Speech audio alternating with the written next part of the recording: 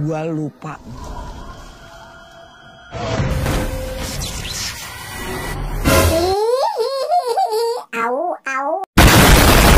Assalamualaikum warahmatullahi wabarakatuh. Bertemu lagi dengan saya Kang Irfan. Bagaimana kabar kalian? Semoga sehat selalu ya. Amin Mumun 2022 Ya, dunia sinema Indonesia terus menghadirkan berbagai pilihan film untuk dinikmati setiap bulannya termasuk di bulan September kali ini yaitu film horor komedi Indonesia berjudul Mumun bakal tayang di bioskop di kota terdekat kalian. Ya, cerita dari Mumun sendiri diadaptasi dari sinetron legendaris Jadi Pocong dan Jadi Pocong 2 karya Mandra yang tayang di tahun 2000-an silam.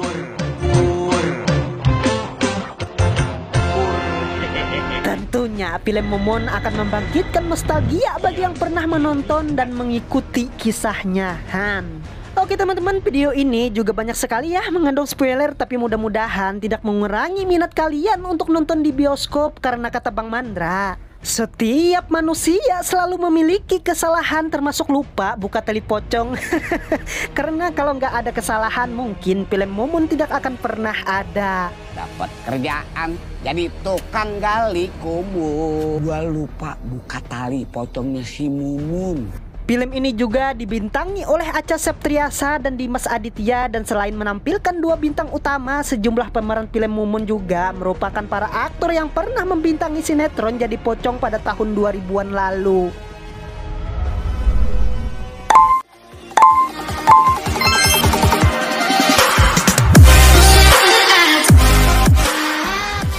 Film Mumun 2022 ini sendiri menceritakan kisah sepasang kekasih bernama Mumun atau Acha Setriasa dan Junet sebagai Dimas Aditya yang pada saat itu harus terpisah oleh maut karena sebuah pembunuhan misterius saat menjelang persiapan pernikahannya. Tali pocongnya si Mumu. Asep udah ceritanya kan? Nah, akibat peristiwa tersebut Mumun pun meninggal dunia ya guys dan membuat Junet sangat terpukul karena kehilangan sang kekasih dan pasti gagal honeymoon serta nggak jadi melepaskan nuklir ke perhutanan rimbun. Kemudian setelah jasad Mumun dikubur ya guys ternyata Husen yang diperankan oleh Abang Mandra ya pasti beliau lagi dan lagi sebagai penggali kubur lupa membuka tali pocong Mumun pada saat prosesi pemakaman.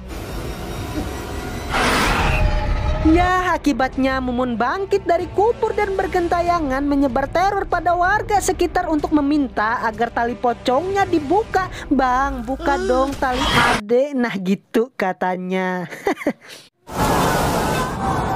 Lalu dalam film ini Acha Septriasa juga berperan menjadi karakter Mimin atau saudara kembar Mumun yang terpaksa harus pulang dari rantau untuk mengobati rasa kehilangan kedua orang tuanya karena kepergian saudaranya. Nah gentayangannya pocong Nah gentayangannya pocong mumun pun tak hanya karena persoalan menuntut tali pocong untuk dibuka Tetapi juga berkaitan dengan Jepri yang diperankan oleh Wolan Hobongyo Mungkin Acil Warung bertanya, iya karena diceritakan Jepri sebagai preman kampung dan penagih hutang menaruh hati kepada Mumun sehingga sering kali memanfaatkan situasi untuk menggoda Mumun ketika menagih hutang. Memang lagi dan lagi tiga hal yang selalu merosak otak manusia dan memecah belah ialah harta, tahta, dan apa? Ya, kalian pintar, wanita. Dan karena Mumun lebih memilih Junet sebagai pendamping hidupnya, Jepri pun sakit hati serta merasa direndahkan. Oleh sebab itu, Jepri pun bertindak di luar kendali yang menyebabkan Mumun ditabrak sampai meninggoy. Kemudian karena Bang Mandra kembali tidak ingat melepas tali pocong saat itulah arwah Mumun memiliki alasan untuk bangkit agar bisa membalaskan perbuatan Jepri telah menghilangkan nyawanya. Dan ketika Mumun ingin membalaskan dendamnya pada Jepri, eh eh eh ternyata pria tersebut juga telah meninggal dan justru juga menghantui seluruh kampung. Bahkan teror pocong Mumun juga membuat resah seluruh warga hingga mereka berencana melakukan penyempurnaan pemakaman jenazah Mumun. Udah nggak sabar kan kalian melihat pocong bermata hijau dan selain horor, film ini juga mengusung genre komedi seperti persis sinetronnya hanya saja. Komedi yang ada dalam film ini terasa kurang menggelitik dan bahkan terkesan ceringnya pada beberapa momen. Tapi ingat nih, syukurnya Bang Haji Mandra berhasil menyelamatkan genre ceringnya tersebut. Ya, seperti yang kita tahu, Haji Mandra Andra atau yang memerankan sebagai Husen si tukang gali kubur celetukan nyeleneh khas dia selalu sukses mengundang gelak tawa penonton hingga gulang-guling di jalanan kali. Ya selebihnya elemen komedi dalam film ini benar-benar terasa hambar seperti janji manis mantan yang ingin hidup bersama namun mendua pet.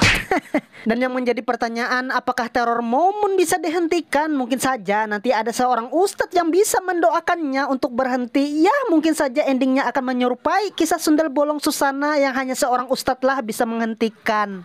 Atau mungkin juga Mumun bisa dihentikan dengan kata-kata seperti ini. Jikalau istilah kata. Jikalau istilah kata. Jikalau istilah kata. Sunesu-nesu terus. Cepat tua engkau ho'o tenan. Mungkin ya kan kali aja para hantu takut sama orang-orang seperti ini. Ya mana kita tahu.